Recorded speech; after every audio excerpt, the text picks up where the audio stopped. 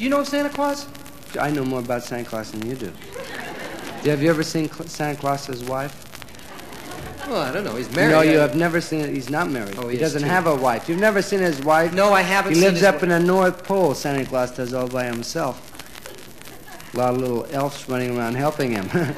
A whole little elf, like a little piece of candy. Hey, you stop that.